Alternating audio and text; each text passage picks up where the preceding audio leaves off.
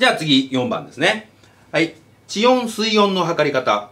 ね。今までは気温の話だったんですけれども、はい、地温。はい、地面の温度は、はい、温温度計を棒で支え、はい、キューブを地面に置いて薄く土をかぶせます。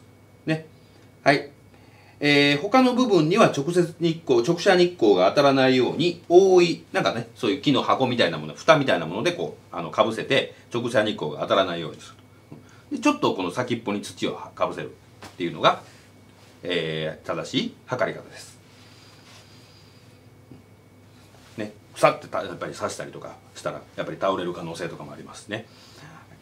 はい。えーと、じゃあ次は、えー、地中の温度ですね。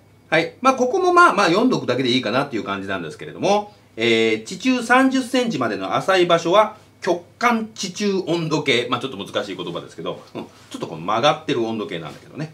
はい。深いところは、やっぱり深いところまで刺さないといけないので、えー、頑丈なものとして鉄でできた、あの、鉄管地中温度計を使って測りますと。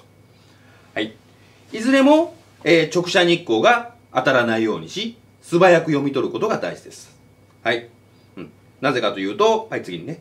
地面や地中の温度の変化は、地面が最も大きく、深くなるほど小さくなりますって書いてますね。